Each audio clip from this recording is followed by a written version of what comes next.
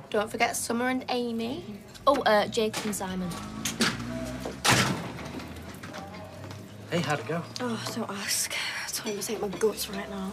Look, no one can blame you for telling the truth. Yeah, they can. It's like this for the engagement party. There's hardly anyone.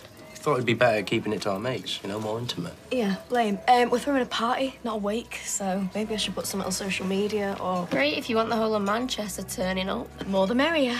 Take it easy. At this rate, it's going to cost a fortune. Well, good, because I've got one. Are you sure this dress doesn't make me look What? Fit? sexy, seriously gorgeous? I was gonna say over the top, but Like it's your brother's engagement party and you look stunning. hey, look. So I just got a shift. Yeah, he just said that. Yeah, and my dad's golfing, so house to ourselves. Mm.